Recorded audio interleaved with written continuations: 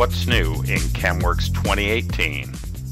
CAMWorks 2018 includes some outstanding new enhancements for 4 and 5 multi-axis machining. An all-new automatic clearance setting is available which automatically determines an ideal clearance move for each pattern. A new automatic arc lead in and out setting has also been added to automatically create gouge-free arc lead ins and lead outs. When surface machining, the ability to extend or trim the toolpath not only along the direction of cut, but now also along one or both of the sides of the cut has been added.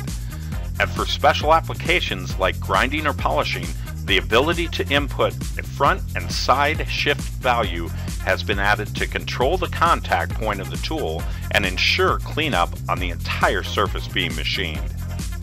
CAMWorks 2018 also includes a new projection direction setting, new parameter preview images, and a host of other new enhancements to make 4 and 5 multi-axis machining faster and easier. For more information, go to www.camworks.com.